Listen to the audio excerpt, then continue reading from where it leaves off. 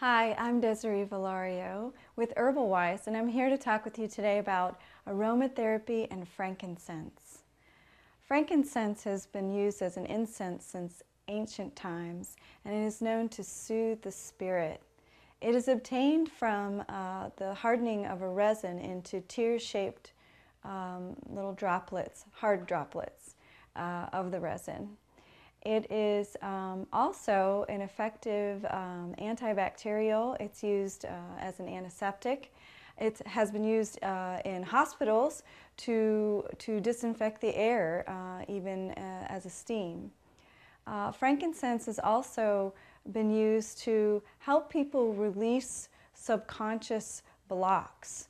A lot of spiritualness surrounds uh, frankincense. It is mentioned many times in the Bible and has been used throughout history in uh, many spiritual ways. I'm Desiree Valario, and this is Aromatherapy and Frankincense.